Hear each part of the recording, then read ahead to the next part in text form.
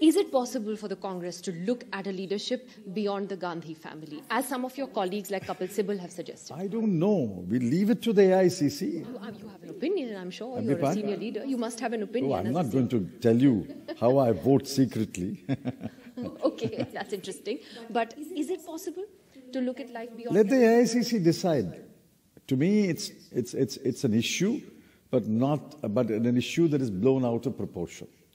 It's an issue, but it's blown out of proportion. Why? Why the AICC will decide. You see, who is the, I've said this before, who is the party leader can only be decided by the party leaders and the rank and file. Suppose I vote.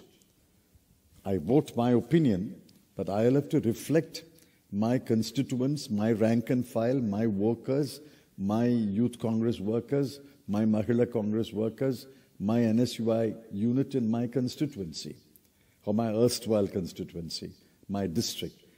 They, I know what they think, and my vote has to reflect those views.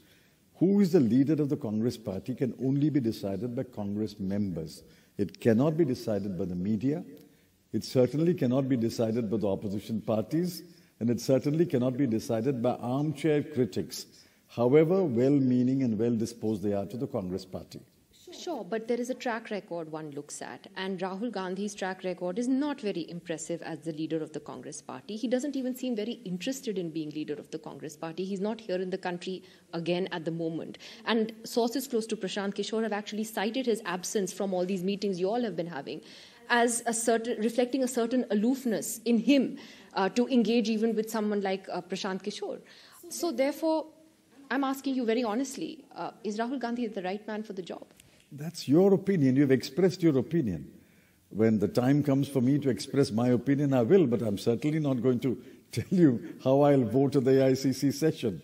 There will be an election, and a Congress president will be elected. Let me ask you about alliances, which was another thing that Prashant Kishor's presentation, I believe, stressed on. You spoke to us a few weeks ago and you said something very interesting that the next general election would have to be fought state by state, where the Congress would have to get into smart alliances and possibly allow other parties to take the lead in those alliances, whether it's the TMC or the Aam Aadmi Party. Now, has that been discussed at all within your party? What, what was the sort of response to that? Yes, uh, it has been discussed. We recognize that in many states, or roughly one half of the states, we are the lead party to take on the BJP.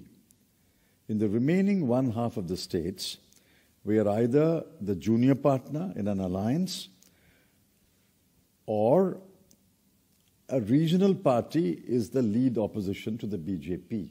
And we have to strike deals, coalitions with the regional party. For example, we have a coalition with the regional party, which is the lead party, say in Tamil Nadu, in Jharkhand, and in Maharashtra we don't have an alliance with a regional party, the lead party, say in Andhra Pradesh, in Odisha.